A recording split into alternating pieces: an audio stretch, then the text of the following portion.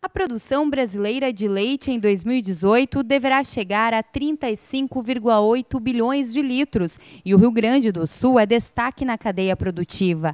Nesta quarta-feira foi concretizado mais um passo para o fortalecimento econômico do setor no estado. A multinacional Lactalis, considerada a maior no segmento de lácteos no mundo, inaugurou dois projetos inovadores. Um deles é o leite em garrafas PET e o outro as manteigas especiais com receita francesa. As novas linhas serão produzidas na unidade industrial de Teutônia, Vale do Taquari. De poder apresentar a nova garrafa que permite manter melhor o leite, uh, preservá-lo melhor e manter todo o sabor. Uh, e também a manteiga presidente, que é uma tecnologia que existia só na Europa, que agora vamos usar no Brasil também.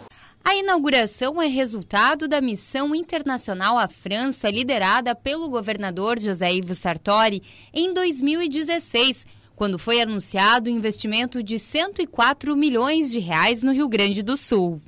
O Estado não pode atrapalhar quem quer produzir, quem quer gerar emprego, quem quer gerar renda. O Estado precisa ser parceiro de quem quer investir e crescer no Rio Grande.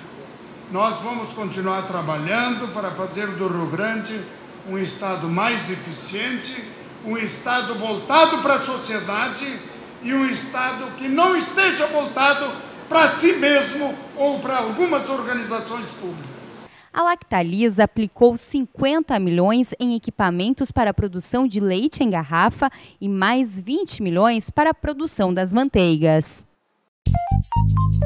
Música